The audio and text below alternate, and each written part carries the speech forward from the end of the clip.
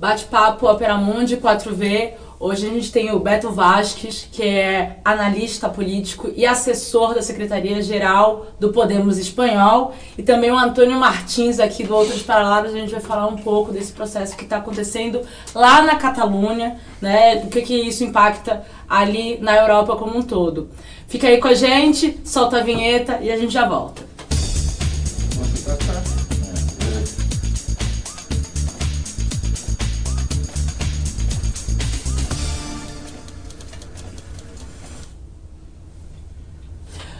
Nós temos a, acompanhado no último período o desenrolar do processo da Catalunha. Teve o referendo ali é, pedindo independência. Ao mesmo tempo, o Rajoy já tentou colocar o artigo 55 da Constituição Espanhola e a gente está aqui com o Beto Vasquez para a gente entender um pouquinho melhor do que está acontecendo, né, Antônio? Isso. Vamos lá, Beto. É, a imagem que chegou aqui é de uma radicalização aguda, mas talvez com pouca densidade política. De um lado, o governo de direita da Espanha, que fez vários ataques aos programas sociais e aos direitos sociais, e do outro lado, o governo catalão, que também fez esse mesmo tipo de ataques. Como entender esse processo da Catalunha? Vamos lá. É, eu acho que para a gente entender, fazer uma explicação, porque obviamente existe toda uma questão histórica, né, que a gente desde o Brasil muitas vezes tem dificuldade de entender. Aqui são poucas as manifestações do ponto de vista da construção de uma identidade alternativa. Mal que bem, bem que mal, todo brasileiro se sente brasileiro. Isso não é uma agenda pra, colocada para a população brasileira, na sociedade brasileira, mas na Espanha é uma questão que sempre permeou a própria formação do Estado espanhol. Né? E é uma questão muito europeia, essa questão das identidades e da forma como se constroem os Estados-nação na Europa. Mas se a gente pegar os últimos anos para entender exatamente o que acontece agora, em 2006 a Catalunha define, por um processo democrático, o seu novo Estatuto de Autonomia. Uhum. O que seria o Estatuto de Autonomia? Uma espécie de constituição estadual. Né? Lá não existem estados e não existe uma federação, é um Estado unitário, é o Estado espanhol, e existem as comunidades autônomas como segundo nível de organização político-administrativa. Uhum. Em 2006, essa, segundo a Constituição Espanhola, na Espanha existem nacionalidades né, e regiões. As nacionalidades seriam, por exemplo, a catalã, a basca, a galega, que se identificam de uma forma é, se identificariam de uma forma especial. Depois, no final das contas, esse processo foi aberto. A própria Andalucia, no final dos anos 70 início dos anos 80, conquista também o seu estatuto de autonomia com um nível como se fosse uma nacionalidade. O que passa é que existe um desejo maior, não é simplesmente uma nacionalidade essas regiões da Espanha se entendem como nação, nação, se sentem nações do Estado espanhol. Por isso que, por exemplo, desde o Podemos se diz que a Espanha tem que ser plurinacional, né? quer dizer, um Estado compartilhado onde diversas nações podem é, coexistir e ter um pacto de convivência articulado entre elas. Porém, esse processo de 2006 é muito bonito, porque começa com uma votação no parlamento da Catalunha, onde a maioria vota a favor uma, da atualização desse estatuto de autonomia onde, por exemplo, a questão mais fundamental é a questão identitária simbólica, onde eles assumem que a Catalunha é uma nação. Né? O reconhe... e, e, e, uma demanda muito legítima da sociedade catalã de se entenda, que se entenda ela como uma nação. O que, que significaria de mudança esse novo estatuto em relação a hoje? Então, esse estatuto, para a gente entender, eles votam no parlamento, uhum. depois do parlamento vai para o Congresso dos Deputados, é votado e aprovado pelo Congresso dos Deputados e vai ser ratificado em um plebiscito na Catalunha e ganha. Então, uhum. Parlamento Catalão, Congresso dos Deputados e plebiscito uhum. na Catalunha. E impeça a vigorar um novo estatuto da Catalunha, onde deixa bastante satisfeito a, a imensa maioria social da Catalunha. O problema é que o Partido Popular, na oposição nessa época, porque esse processo se deu porque o partido, na época, o Partido Socialista Obreiro Espanhol era quem governava, porque tanto na Catalunha como no Congresso dos Deputados, o PP, que é a direita espanhola, o Partido Popular, embora chame popular é a direita, o PP, desde, desde a primeira instância na Catalunha, vota em contra essas medidas, mas perde. que faz o PP então? Descontente com o resultado, o PP entra com uma ação junto ao Supremo Espanhol. No Supremo Espanhol, onde a maioria dos é, juízes do Supremo foram escolhidos pelo próprio Partido Popular, ex-militantes do Partido Popular. Isso uhum. chega a um nível de, de falta de, de independência de poderes bastante importante na Espanha. Quando isso acontece, o Supremo analisa e em 2010 solta uma sentença dizendo, recortando o Estatuto da Catalunha, o novo Estatuto de Autonomia, em 17 pontos, mas os principais, entre eles, não reconhecendo a Catalunha como uma nação. Isso gera um, mal-estar bastante importante. Vamos lembrar que em 2010, por outro lado, a, crise econômica já começava a se sentir fortemente no estado, em todo o Estado espanhol. Então, junto ao mal-estar de uma situação econômica bastante difícil, vem essa falta de reconhecimento político, na verdade, esse atropelo, né? essa deslegitimação da Catalunha como nação, que para os catalães é uma coisa muito importante, muito cara. Nesse momento, um, um, mês depois, os catalães vão para as ruas e botam um milhão de pessoas na rua. Então, falando 2010. Uhum. A partir de 2011, no final de 2011, o PP ganha o governo e vai tentar forçar a máquina ainda mais contra esse desejo de, de identidade própria catalã. O ministro da Educação do Rajoy, no primeiro mandato, chegou a dizer no Congresso dos Deputados que era preciso espanholizar os jovens catalães. Então você uhum. imagina a falta de sensibilidade. Por isso que a gente diz que grande parte desse problema se deve ao governo do PP, que foi uma fábrica de independentistas. Uhum. De fato, o PP desde o final de governa, e se depois da sentença do Supremo os catalães foram, puseram um milhão de pessoas na rua, a partir de 2011 até este ano, todo dia 11 de setembro, data pitoresca, que é o dia da, né, 11 de setembro, que é o dia da, do, do aniversário da Catalunha, uhum. todos os anos, 2011, 12, 13, até 17, todos os anos os catalães puseram pelo menos um milhão, um milhão e meio de pessoas na rua. Sempre reivindicando o direito a, a decidir. E recebendo uma resposta de não, não, não a tudo, desde o governo da direita espanhola, do governo do Mariano Rajoy. Esse processo foi o que gerou o que chama dessa fábrica de independentistas. Uhum. Por quê? Porque em 2010 se a gente olha antes da sentença do Supremo, o desejo de independência na sociedade catalã, todas as pesquisas mostravam, não chegava como muito a 20%. Uhum. Uhum. E quando a gente chega em 2015, em setembro de 2015, no 11 de setembro, de novo, um milhão e meio de pessoas na rua, e no final de setembro, no dia 25 de setembro, se não me engano, de 2015, tem a eleição para o governo da comunidade autônoma, né, para o governo estadual da Catalunha, em termos brasileiros, e nessa eleição, os partidos históricos catalães, centro-esquerda e centro-direita, formam uma coligação, uma coisa absolutamente inaudita, e formam uma coalização, uma coalizão que se chama Juntos pelo Sim, Juntos per Si. Uhum. Né? Por quê? Porque é uma forma também que isso é interessante a gente observar, desde as elites políticas catalãs, também é uma resposta muito inteligente. Por quê? Porque a direita catalã chega ao poder, depois de um governo tripartite entre as forças de esquerda na, na, na Catalunha, ela chega ao poder em 2011, dez meses antes do Rajoy uhum. chegar no final de 2011. E começa com as políticas de recorte violentamente. Né? Tanto que a gente dizia, o modelo do Artur Mas, que era o presidente da Catalunha, ele está servindo de laboratório para o Rajoy quando o Rajoy ganhar no final do ano, porque já se sabia que ia ser era evidente que o PP ia ganhar essas eleições, tanto que ganhou com maioria absoluta.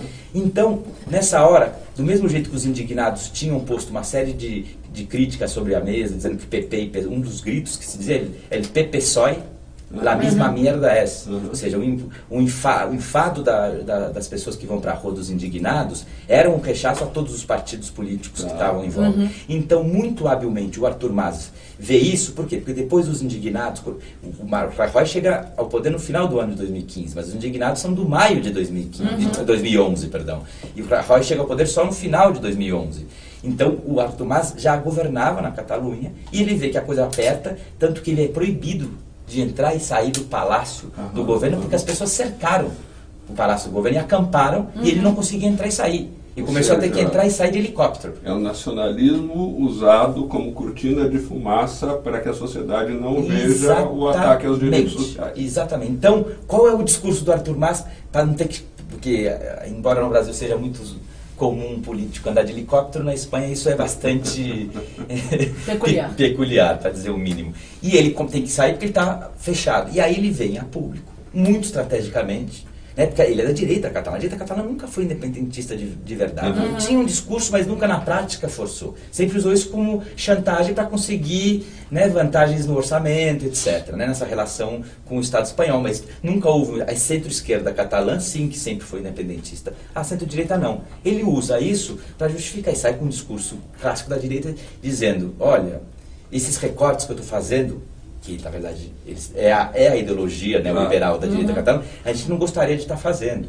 Mas agora com a crise a gente tem que fazer esses recortes porque o nosso dinheiro vai para sustentar os vagabundos andaluzes, extremenhos, murcianos. Uhum. Então, se rompe a lógica esquerda-direita e entra uma lógica nacionalista unionista. E se rompe uhum. também aquele ascenso popular contra a casta política, porque ele desvia o foco. Exatamente, essa é a estratégia. Então, do mesmo jeito que o Podemos mais tarde vai entrar na disputa política, dizendo aqui não é uma questão de centro-esquerda, centro-direita, são os de abaixo contra os de arriba, né? uhum. né? Essa mesma lógica de romper o, tabuleiro do jogo, dizendo aqui na esquerda, direita, em cima e embaixo, na Catalunha eles fizeram a mesma coisa. Será que não é uma questão de esquerda, de esquerda ou direita, de fazer recortes ou, ou fazer bondades sociais, uhum. senão de defender uma integração subordinada da Catalunha na Espanha ou ter uma autonomia catalã efetivamente. Então, quer dizer, vamos lembrar uma coisa que a gente sempre diz, quando começaram a sair os milhões de casos de corrupção nesses últimos anos, uhum. tanto o PP como a direita catalã, os dois tinham o mesmo modo operando. Uhum. Na, a maior parte dos casos de corrupção na, na, Espanha foram os 3% que se cobrava de propina nos contratos. E na Catalunha eram os 3%, depois a gente veio dizer, a gente fala,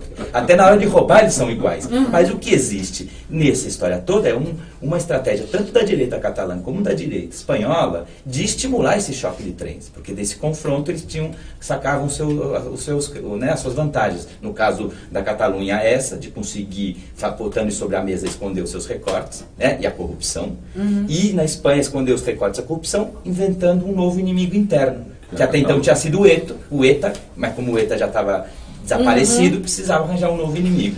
Né? Mas agora, tem, nesse processo que veio de setembro para cá, é, como é que estão os debates efetivamente dentro da Catalunha? Porque o, pediram um truco ali, né? Exatamente. pediram um truco ali. Como é que está se colocando isso e o que, que isso efetivamente tem relação com a União Europeia e com outros setores independentistas dentro da Europa? Joia.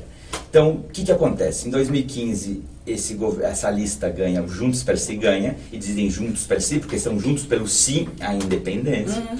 E na, na, na, proposta deles é que em 18 meses eles declarariam e fariam um referendo que se saísse o sim, eles iam declarar a independência da Catalunha.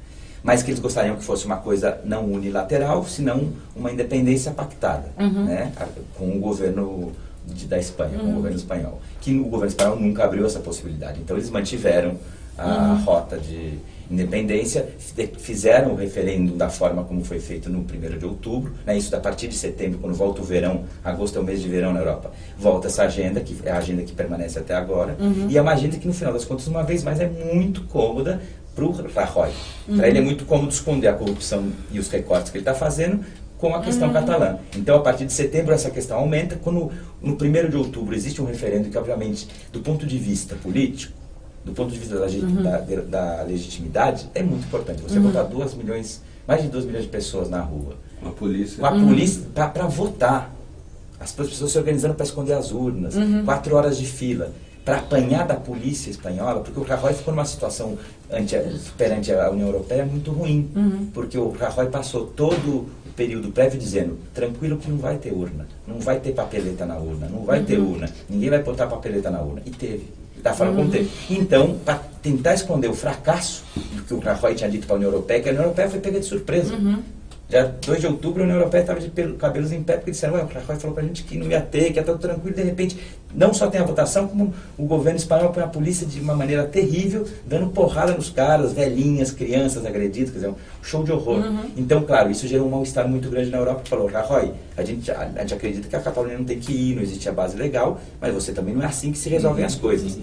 Isso gerou um momento mais favorável ao independentismo para conseguir, né, aos independentistas, conseguir avançar na agenda. Mas o governo catalão tentou até o último momento que, que houvesse um espaço. Eles mesmos falaram, a gente deixa de lado esse referendo se uhum. o governo espanhol sentar na mesa para discutir e se dispuser um horizonte de dois, três anos fazer um referendo como foi feito no Quebec, como foi feito na Escócia, uma discussão longa, que se põe os parâmetros. Eventualmente se diz, olha, para a independência não pode ser 50%, de repente você tem que pôr um mínimo de 55%. Uhum. E uma vez, dois anos até chegar nesse processo, antes todo um processo de informação e comunicação com a sociedade para que as pessoas pudessem entender os diversos pontos de vista. Essa é a defesa deles. E se porventura saísse o sim num eventual referendo em dois anos, mais um período de dois, três anos de desconexão, né? planejado, uhum. quais seriam as questões que teriam que ser feitas. Esse, o governo da Espanha nunca se a, a, aceitou discutir essa questão. Eles falam, porque eles também ganham votos radicalizando. Claro, porque na verdade eles ganham voto radicalizando e eles tampam a questão dos recortes claro. e, e, da corrupção com esse tema. E efetivamente o que está acontecendo nos últimos meses, a gente viu uma série, essa, nas duas últimas semanas, um inspetor-chefe da UDEF, que é a Força de Crimes Financeiros, deixou claro que eh, os indícios são absolutamente claros que o Rajoy recebeu dinheiro, tanto uhum. que tem na, no, nos papéis do Barça está lá 10 mil euros, M. Rajoy. E o porta-voz uhum. do PP dizia, quem quer dizer, quem garante que seria o Mariano Rajoy? Né? Só porque ele é o presidente do partido, ele que nomeou o Bárcenas, ele cuidou da finança do partido nos últimos 20 anos, que né, isso pode ser outra coisa, esse M. Rajoy, né? Me fala, desculpa. Não, não, então esse, é, é, obviamente houve essa série de casos, outros casos. A fiscal do caso Gürtel, que também investiga a corrupção no Partido Popular, uhum. disse essa semana que está absolutamente claro, amplamente comprovado, que o, o, Partido Popular se financiou de maneira ilegal. Uhum. Né? O, a, o, o, fiscal, a, essa fiscal, o inspetor de Hacienda, a UCO, que é a unidade de crimes contra a corrupção também apostou por isso, deixou claro esses, os últimos dias. Mas esses temas, não se, na, a sociedade espanhola não está vendo, porque a, nós vivemos desde 1 de setembro até agora 15 de novembro, são dois meses e meio onde só se fala de Catalunha. Uhum. Então, quer dizer, a estratégia funciona muito bem para o PP, porque esconde a sua sujeira, esconde o seu pacote de maldades e, ao uhum. mesmo tempo, ativa né, um eleitorado cavernoso, mais ou menos como o Bolsonaro faz aqui, apelando, e foi muito, uma metáfora que é muito divertida, né? A gente teve lamentável, os lamentáveis atentados de setembro, uhum. de agosto, perdão, na Catalunha, né? E aí é, o, que, o slogan que sai é todos somos Catalunha. Um mês depois, quando começa isso, uhum. sai o aporeios. Aporeios é o canto que você faz quando vai numa guerra. Eu vou apor alguém, uhum. né? Como dizem os espanhóis. Então, um tuiteiro pôs um tweet muito feliz que ele diz a Espanha realmente é muito particular. Em menos de um mês éramos todos Catalunha e agora aporeios. Hum. é verdade, né, gente? Qual seria uma alternativa política que não significasse a separação da Catalunha da Espanha, você estava falando que o Podemos votará não, uhum. se houver o referendo, mas que também avance na autonomia, como você tem dito, que é desejo da maioria da população. Por isso que eu digo, eu acho que o Podemos é o único que está conseguindo dar uma resposta, propor uma resposta política efetiva. A gente tem dois blocos enfrentados. Um uhum. bloco que a gente chama de bloco monárquico, porque infelizmente a figura do rei apareceu de forma nefasta, uhum. né? O rei, o rei que já primeiro que já é uma coisa absolutamente da gente brasileiro bastante pitoresca você ter um rei, né? Como um chefe de estado. Mas o, o, rei sempre cumpriu, o pai do rei, que era o, o anterior monarca, cumpriu sempre um papel bastante de poder moderador. Uhum. Nunca entrou, nunca gerou confusão. E esse rei, desde que tinha assumido, estava bem quietinho. Mas a grande aparição, a primeira vez que ele entra em cena, entra agora de uma forma muito ruim. Uhum. Ele entra condenando os independentistas, não teve uma posição mediadora, ele não conseguiu fazer nenhuma, não deu nenhum bom dia, uma boa noite em catalão, quando faz a sua mensagem aos catalães, uhum. não deu nenhum gesto, né? Não, simplesmente, pois, os catalães estão errados, e, aqui, e essa saída do rei, na verdade, foi uma chamada à ordem, foi um, um puxão de orelha uhum. no PSOE. E a partir daí o Partido Socialista Obreiro, de fato, Sim, uma vez mais sim. abraça o PP, abraça Cidadãos, forma um bloco monárquico uhum. e vai e que vai autorizar que o governo entre dando porrada. O Podemos fala, olha, a gente não quer é, intervir na autonomia da Catalunha como foi feito agora, mas também não pode ser a, os, os independentistas não tinham a menor autorização moral ou política, porque não tinha legitimidade para declarar a independência. Uhum. O que aconteceu em 1 de outubro, do ponto de vista de uma mobilização política, é um sucesso. 2 uhum. milhões de pessoas fazendo uma manifestação absolutamente pacífica para votar é uma coisa linda, uhum. legítima, mas ela não é legal. Uhum. Não existiam os mecanismos, essas urnas não eram urnas de verdade, não, não eram, eram urnas de, que as pessoas tinham que manter sob seu controle, até porque a polícia ia bater nelas. Uhum. Assim você não pode promover um referendo, um referendo onde votou muita gente mas ainda assim foi muito pouco perto do colégio eleitoral catalão. Uhum. Então, quer dizer, você não pode, não houve os observadores internacionais, ninguém estava dizendo, estamos acompanhando um processo que a gente diz desde o Podemos. O que falta, a solução é, primeiro, discutir o autogoverno catalão, discutir uma proposta de mais autonomia, recuperar os pontos perdidos do Estatuto de Autonomia né, para a Catalunha, por o assento né, como principal a questão das políticas sociais e os recortes sociais na Catalunha que foram brutais e um referendo pactado e com garantias como única solução para o conflito. Esse referendo, se a gente observar o que diz a sociedade catalana nos últimos anos, nesses últimos sete anos, todas as pesquisas, absolutamente todas as pesquisas disseram entre 75% e 80%, variando, né? Entre 75% e 80% dos catalães querem votar. Querem votar, uhum. querem uhum. votar se querem ou não independência, querem votar um referendo de independência. Uhum. Ainda que as próprias pesquisas dizem que os que querem sair da Espanha vão estar na faixa dos 45%, entre 45% e 50%. Mesmo depois desse crescimento todo. Agora ainda não temos números, agora uhum. está por ver o que acontece, mas a tendência é que depois dessa violência do Estado é possível que você continue com uma fábrica de independentistas. Né? O Rajoy levou em sete anos de 20% a 48% dos catalães que não querem mais estar na Espanha. A gente brinca que os catalães querem se dependentizar, não da, da Espanha, eles querem se dependentizar do Rajoy. E aí, nesse sentido, você vê que a única forma é, a, é sentar numa mesa, porque os dois lados, os dois blocos, o bloco independentista e o monárquico, não querem sentar numa mesa para discutir. A gente fala, temos que sentar e discutir. E temos que encaminhar para esse referendo. Não pode ser só ficar tudo como está uhum. ou independência. Há espaço para pôr uma proposta sobre a mesa sedutora, uhum. que namore a Catalunha, que diga, olha, primeiro, vamos reconhecer a Espanha efetivamente como um Estado plurinacional uhum. e a Catalunha como uma das nações dentro desse Estado. Vamos dar mais autogoverno para a Catalunha. Vamos apresentar uma proposta, vamos, vamos ver o bonito da plurinacionalidade, dizer que bonito que a gente é um país com vários idiomas, e não que feio, e que esses catalães não sabem falar espanhol direito, que é uma tremenda uhum. bobagem, além de tudo. Esse é o único caminho político para que a gente consiga imaginar uma Espanha unida no século XXI, baixo um guarda-chuva da plurinacionalidade. E essas propostas que vocês têm construído para debater ali, com esse com essa estouro praticamente de corda, né? Porque um está puxando de um lado, é quase um estouro de corda. Como essas propostas elas entram junto com o povo catalão, porque o Podemos ele acaba, ele, ele tem a prefeitura de Barcelona, Isso. né? Como é que esse debate está colocando? Porque tem uma, uma necessidade que as pessoas querem votar, né? Querem participar da decisão, querem, querem, ó, esse poder é meu, eu que decido o que eu quero fazer com a minha vida, né? Mas ao mesmo tempo é preciso tirar as cortinas de fumaça do debate, né? Porque é, tem a direita catalã, tem os monárquicos e todos eles estão querendo esconder os seus próprios. Como é que está entrando isso? Como é que vocês estão fazendo o debate para que não, não, não se estoure o processo? É muito difícil.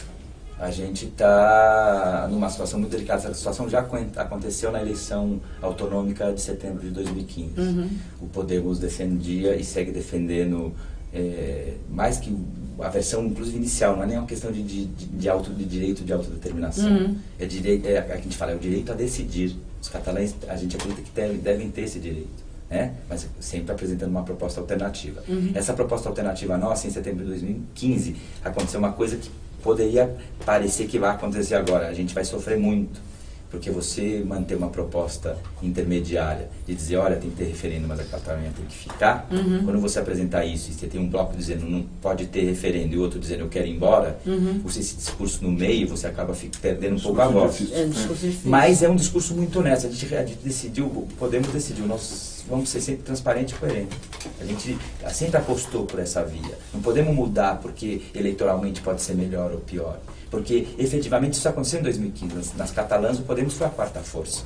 Foi um dos piores momentos seus. Mas uhum. depois das eleições da Catalunha em 2015, a gente teve as eleições gerais na Espanha em dezembro de 2015, uhum. 20 de dezembro, e depois em 26 de junho a repetição das presidenciais. Nessas duas eleições em âmbito nacional, presidenciais, uhum. o Podemos foi a primeira força na Catalunha. Porque, uhum. claro, por quê? Porque quando se discute em, em, em, chave estatal, nacional, o catalão reconhece que o Podemos é o que está dando, apresentando a melhor solução. Uhum. A, a, solução, o Podemos defende, no final das contas, não é porque o Podemos ser maravilhoso, uhum. port, é, portador da verdade, é que o Podemos está defendendo o que querem 80% dos catalães. Uhum. Da proposta de sentido comum. 80% dos catalães dizem, a gente quer votar, independente se quer sair ou não, a gente quer votar. Fechar o olho a isso e achar que pela força você vai, vai convencer, não. Você não pode convencer com pau, você tem que convencer com política. E essa, uhum. esse é o ponto, essa é a nossa proposta. Explica para a gente o que são as CUP, esse partido de esquerda que se aliou aos independentistas de direita. Isso. As CUP são um partido é, anticapitalista. Né? Tem um partido muito coerente, é um partido que sempre defendeu, na verdade, a agenda principal deles é a construção de uma sociedade anticapitalista. E na, isso é um partido de âmbito catalão, tanto uhum. que eles sempre só disputam, e municipalista. Uhum. A eleição de 2015, de setembro de 2015, foi a primeira vez que as CUP se apresenta ao Parlamento da Catalunha, nível segundo nível, nível autonômico ou estadual, que a gente chamaria aqui. Uhum. Foi a primeira vez que eles se apresentam. Antes eles só ficavam nas, nas, nas eleições municipais. E ao Congresso dos Deputados eles não se apresentam nunca, porque eles não, não se sentem, inclusive, parte da Espanha. As CUP têm duas grandes almas. Né? Tem uma alma de capitalista que se revela na luta como uma agenda social, como a sua principal bandeira, né? mas tem também uma segunda alma que é a alma independentista, porque eles vêm não só aí uma questão não é meramente tática, é uma uhum. questão estratégica e identitária. As CUPs acreditam que, primeiro, a monarquia é uma coisa a se vencer, uhum. uma república é um passo muito mais um passo muito importante para poder cons conseguir esses seus objetivos. Então, as CUPs sempre flutuaram nesses objetivos. Nas eleições de setembro de 2015, a centro-esquerda e centro-direita catalã se juntam no Juntos per Si. Mas os votos não são suficientes para governar. E eles necessitam, necessitam aliar, aliar, se aliar com as CUP. Uhum. E, as, e aí, então, se aliam a centro-esquerda e centro-direita. Ela não entra no governo, mas desde o parlamento ela dá os votos dela. Uhum. E aí entra um processo de difícil negociação nesses últimos anos, onde as CUP diziam a gente apoia desde que vocês mantenham a. a, a porque o, o, Juntos per si, quando ganha, diz em 18 meses, no, no final das contas foram alguns meses mais, uhum. mas em 18 meses a gente vai fazer um referendo e se saiu sim, a gente vai declarar a independência. E as pressionaram desde fora, por um lado, elas foram muito exitosas. Uhum. Porque desde o parlamento elas obrigaram a esquerda, a centro-esquerda e centro-direita catalã e até o final no Maduro, onde agora todos estão na, na cadeia ou exilados, uhum. fugidos uhum. né, da justiça espanhola. espanhola. Mas as CUP, nesse processo, no, meio de do, no final do, do ano passado, quando chegou o momento de votar o orçamento de 2017 da Catalunha, ela fez uma assembleia, porque era um orçamento de recortes do uhum. Juntos per si. E é uma coisa que vai absolutamente contra, justo, todas as bandeiras uhum. da CUP. Uhum. Por outro lado, as CUP é também profundamente independentista. Uhum. Então, o Juntos per si estava garantindo que ia chegar no referendo. Então, as CUPs se dividiram e decidiram fazer uma assembleia para ver que prioridade? Uhum. Damos, aprovamos o orçamento do governo de centro-direita catalão. Como resposta, eles garantem que a gente vai para um referendo e vai para a independência se ganha? Uhum. Ou a gente diz não a esse orçamento e obriga a antecipar as eleições na Catalunha, mas perde a chance de ter um governo que diga, ó, daqui a oito meses eu vou proclamar a independência se a gente ganha. Vou fazer o referendo se a gente ganhar, eu declaro. A independentismo falou Fizeram uma votação nas CUP e empataram em números exatos, 4.554, uma coisa assim, 9 mil votos divididos ao meio. Rachou as duas uhum. almas do, das CUP, que finalmente é o partido mais horizontal que eu tenho notícia, mas no final, depois desse empate, tiveram que chamar um conselho de sábios entre uma dezena de pessoas tomar essa decisão, que foi a decisão de apoiar os orçamentos de recortes do Juntos per Si, com, a, a troco da garantia de que se ia declarar que efetivamente se cumpriu um referendo nas condições que foram feitas e a declaração unilateral de independência. Embora os catalães independentistas até o último minuto tentaram que não fosse uma declaração unilateral, que pudesse ser, né, lutar por um referendo onde, uma vez declarado o resultado, fosse pactado com o Estado espanhol para que todos estivessem aceitos. É, a gente está caindo aí, daqui a pouco vamos encerrar que, que bem rapidinho, o que, que a gente pode esperar aí nesse próximo período desse processo aí na Catalunha? Bem rapidinho para a gente poder... Inclusive nas eleições. É, inclusive nas eleições. As eleições são dia 21 de dezembro. Isso. Né? Até agora, as pesquisas, a gente pode imaginar que talvez tenha, tenha algum tipo de movimentação, que essa sexta-feira, essa semana, que daqui em dois dias, três dias, a gente vai ter é, o fechamento das candidaturas. Né? De fato, a princípio, ia, os partidos agora iam sair separados mas nesse dia 14 uhum. de novembro já houve uma primeira é, conversa e o porta-voz da esquerda republicana de Catalunha, que é a centro-esquerda, já começou a dizer que talvez possa haver sim novamente uma repetição de um tipo de confluência. Então, a gente, e segundo o que as pesquisas dizem, parece que nós vamos para um, um cenário onde vai, e desde o Podemos a gente cansou de avisar isso, uhum. de chegar a um resultado muito semelhante ao resultado que a gente tem agora. E aí a gente diz o que, que, vai acontecer. O governo da Espanha vai aproveitar que tem o artigo 155, que é o que uhum. autorizou a intervenção na Catalunha, ele, e como ele continua vigente, se sair um resultado que o, que o Mariano Rajoy não gosta, ele vai deixar que tomem posse, porque uhum. a gente uhum. corre o risco de, 21 de dezembro, ver uma maioria, inclusive talvez um pouco mais forte, do mesmo, dos mesmos grupos que levaram a gente até aqui na Catalunha. Uhum. Então é um, o cenário é bastante preocupante A gente vê um pouco um rebaixamento. Nos últimos dois meses mesmo, Catalunha foi o único tema, Uhum. né? Foi muito conveniente. As pessoas começam a se cansar também já um pouco, já começam finalmente a voltar agora muito a conta gotas a falar de outros temas, as questões social, Uhum. corrupção. Mas a tendência, dizem as pesquisas, é um, repetição do resultado. E isso vai levar a um impasse, ou seja, o impasse continuará. E podemos, a gente diz, poxa, é, a partir do 22 de dezembro vai ter que finalmente encontrar uma saída. E essa saída talvez continue, de momento, a única saída efetiva, sem violência, política, sobre a, se alguém apresentar outra proposta, vamos discutir. Mas de momento, a única proposta é a que podemos estar pondo. Não é independência, não é intervir na Catalunha. É sentar na mesa, discutir e acordar os termos para que se possa fazer um referendo pactado com garantias. Desde a União Europeia, para responder a pergunta que te faltou, ela vem com muita preocupação, porque obviamente esse exemplo da Catalunha, se vai adiante, a Escócia vai querer fazer o mesmo no Reino Unido, a Irlanda também vai querer fazer o mesmo no Reino Unido, a Córcega na França, a Lombardia na Itália, Flandres na Bélgica. Então, claro, se acenderam aí todos os alarmes da União Europeia e por isso ela tem apoiado o governo Rajoy, ainda que condenado o excesso de brutalidade, porque isso pode gerar uma onda de emancipações e direitos à autodeterminação e tudo no coração da velha Europa. É, a gente ainda tem aí muita coisa para acompanhar no Estado espanhol por conta desse processo da Catalunha. Vamos esperar essas eleições no dia 20 do, 21 de dezembro. Esperamos o melhor para a sociedade catalã mesmo, né? Obrigada, Beto. Obrigada, Antônio. Esse foi o bate-papo Operamundi 4V. Para você acompanhar todos os outros é, programas, se inscreve aqui no canal. Também ativa o sininho, porque aí você vai receber as, as notificações de quando tiver programa novo aqui. E não esquece de dar aquele joinha para ajudar na distribuição do vídeo.